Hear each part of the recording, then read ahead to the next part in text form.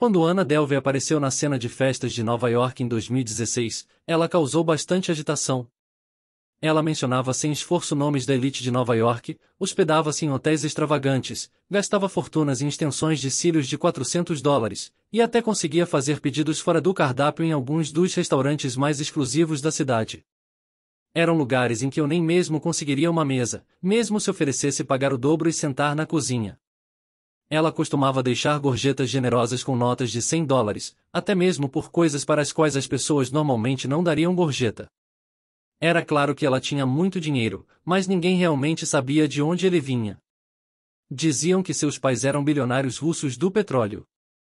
Outro boato sugeriu que seus pais eram bilionários da indústria de energia solar verde. Ei! Eu também ouvi um boato de que os pais dela eram diplomatas e ela herdou uma fortuna imensa. Bom, aqui está a coisa, e nenhum desses boatos é verdadeiro. Os pais de Anna Delvey são pessoas comuns. Na verdade, o pai dela trabalha como caminhoneiro na Alemanha. Acontece que ela é apenas uma mentirosa incrivelmente habilidosa, alegadamente. E através da sua teia de mentiras, ela conseguiu enganar bancos, hotéis e restaurantes em centenas de milhares de dólares. É verdadeiramente incrível. Ei, pessoal! Hoje, vamos mergulhar na fascinante história de Anna Delvey, que enganou a cena de festas de Nova York por anos, fingindo ser alguém que ela não era. Preparem-se, pessoal, porque essa história vai levá-los a uma jornada fascinante. Tudo bem, vamos começar. Ana era o assunto da cidade em Nova York e nos Hamptons, aparecendo em inaugurações de galerias de arte, jantares extravagantes, academias de luxo e até mesmo no Surf Lodge em Montalco. Ela estava em todos os lugares que você olhava. Durante o verão de 2016, Ana tinha uma grande ambição em mente em comprar uma propriedade notável na Park Avenue South, no coração de Nova York. Este prédio não era um lugar comum, ele contava com uma magnífica igreja do século XIX em seus terrenos. Para aqueles que não estão familiarizados com Nova York, deixe-me dizer que essa localização era um imóvel de primeira. Se fosse um jogo de Monopoly, todos queriam ser donos dele. Você construiria hotéis nele e ostentaria seu sucesso para sua avó com orgulho. Ana não conseguia conter sua empolgação com esse espaço e compartilhava entusiasticamente seus planos com qualquer pessoa disposta a ouvir. Ela imaginava transformá-lo em um vibrante centro de artes visuais, com exposições de arte, lojas pop-up modernas, restaurantes tentadores, bares animados, uma aconchegante padaria e um refrescante bar de sucos. Mas, é claro, adquirir uma propriedade como essa teria um preço alto. Para transformar seu sonho em realidade, Ana tomou medidas proativas. Ela abordou bancos para discutir possíveis empréstimos, procurou orientação de consultores financeiros e até mesmo contratou uma empresa de relações públicas para ajudar. Parecia que ela estava ganhando impulso, mas então, num piscar de olhos, ela desapareceu. Sussurros circularam quando Ana se despediu de seus amigos em Nova York, explicando que precisava deixar temporariamente os Estados Unidos devido a um problema de visto. Ela mencionou Colônia, na Alemanha, como seu destino, deixando seus conhecidos curiosos sobre sua partida repentina. Em fevereiro de 2017, Ana retornou a Nova York e se hospedou no 11 Howard, um hotel renomado. A partir daí, ela se entregou a gastos luxuosos, frequentando sessões caras de treinamento pessoal e jantando no Le Coco, um restaurante afiliado ao 11 Howard. Isso significava que ela podia convenientemente lançar suas refeições na conta do hotel. Ana se tornou uma cliente regular do restaurante e seu charme até convenceu o chefe principal a preparar pratos elaborados que não estavam no menu. Com certeza, você não encontrará esse tipo de flexibilidade em um lugar como Dennis. No entanto, isso marcou o início dos problemas para Ana. Descobriu-se que o 11 Howard não tinha um cartão de crédito válido registrado para ela, e suas contas começaram a se acumular. Não podemos esquecer que seus gastos no Le Coco também foram adicionados à conta. É um luxo dizer casualmente, coloque na minha conta, enquanto o resto de nós é repreendido por pedir refil grátis em lanchonetes. Apesar da situação, Ana conseguiu ganhar um pouco de tempo ao enviar uma parte do valor pendente para o 11 Howard. Mas não foi tempo suficiente, nem dinheiro suficiente para quitar a dívida. Durante essa controvérsia, Ana deixou a cidade ao fazer um voo de jato particular de 35 mil dólares para comparecer à reunião anual de acionistas da Berkshire Hathaway de Warren Buffett em Omaha, Nebraska.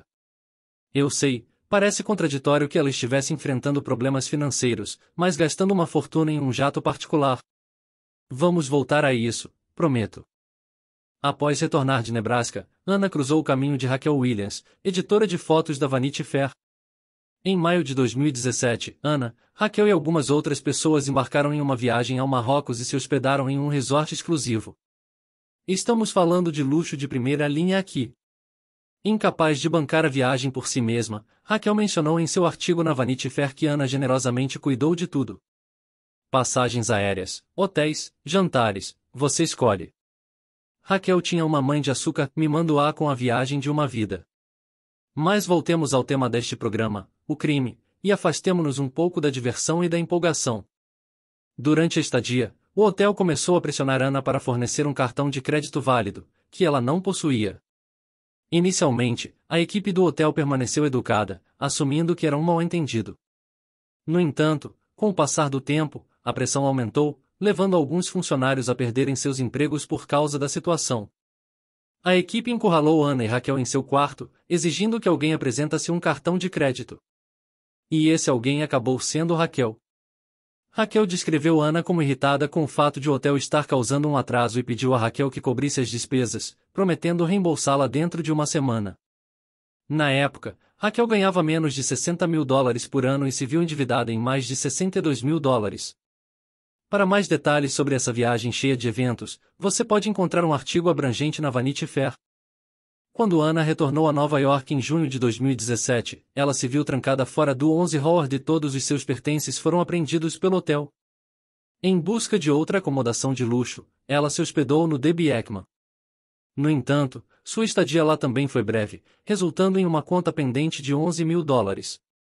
Ainda é surpreendente que esses estabelecimentos a tenham deixado ficar sem um cartão de crédito válido na época. Mas essa era a habilidade de Ana, ela interpretava o papel de uma pessoa rica de forma tão convincente que as pessoas presumiam que ela honraria seus compromissos financeiros. Enquanto isso, a situação de Ana estava se tornando cada vez mais desesperadora. Sua grande ambição de adquirir a propriedade na Parque Avenue South tinha desmoronado, pois ela foi vendida para outra pessoa. Se esse empreendimento tivesse sido bem-sucedido, ela talvez pudesse ter conseguido pagar suas dívidas. Para piorar suas dificuldades, a imprensa começou a desvendar sua história. O New York Post publicou um artigo questionando a identidade da mulher que frequentemente se hospedava em hotéis de luxo apenas para fugir das contas. E não foram apenas os meios de comunicação que perceberam. O escritório do promotor de justiça de Nova York já havia começado a investigar Ana. Posteriormente, Ana foi presa e enfrentou acusações de grande roubo, falsificação de documentos, furto de serviços e outros crimes. Alegava-se que ela havia enganado aproximadamente 275 mil dólares de bancos, restaurantes, hotéis e até mesmo amigos como Raquel. Ana, cujo verdadeiro nome é Ana Sorokin, nasceu na Rússia em 1991 e agora potencialmente enfrentava até 15 anos de prisão. Mas como ela conseguiu realizar esses esquemas?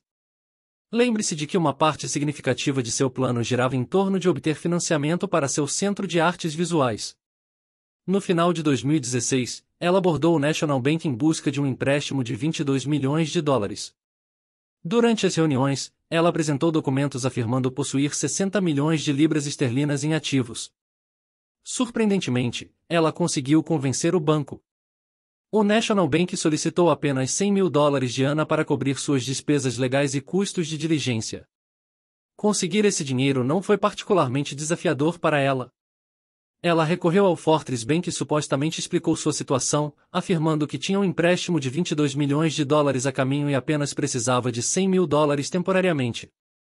O Fortress Bank concordou e forneceu o dinheiro, que foi então entregue ao National Bank para fins de investigação. Houve também casos em que Ana depositou cheques fraudulentos em bancos como Citibank e Signature Bank. De alguma forma, ela conseguiu sacar fundos antes que os bancos percebessem que os cheques eram falsos. Por isso, Ana sempre tinha dinheiro em mãos, ela não dependia de cartões de crédito. Foi essa exibição extravagante de dinheiro que construiu sua reputação. No entanto, sua teia de mentiras eventualmente desmoronou, levando tudo ao colapso. Em fevereiro de 2017, Ana desistiu de seu acordo com o National Bank. Eles já haviam usado 55 mil dólares dos 100 mil dólares que ela havia dado a eles para sua investigação. Os 45 mil dólares restantes que ela recebeu de volta lhe compraram algum tempo com 11 Howard, o que explica por que ela foi capaz de transferir uma parte de sua conta enquanto ia para Nebraska. No entanto, não foi tempo suficiente para escapar de suas dívidas crescentes. Sem o empréstimo do National Bank, seu destino estava selado. Mas aqui está mais uma reviravolta. Ana devia dinheiro para Raquel, vários hotéis, a empresa de relações públicas que ela contratou e os restaurantes onde ela sediou festas extravagantes. Lembra do voo de jato particular? Bem, de alguma forma ela conseguiu obtê-lo a crédito. Com a frenesi midiática em torno da história de Ana, ela parecia ter se tornado a celebridade que fingia ser. O julgamento de Ana começou no início de 2019 e foi um verdadeiro espetáculo. Ela contratou um coordenador de moda para se vestir e um advogado chamativo que abriu sua declaração fazendo referência à música New York, New York, de Frank Sinatra. Na verdade, Ana causou vários atrasos no julgamento porque não estava satisfeita com suas roupas.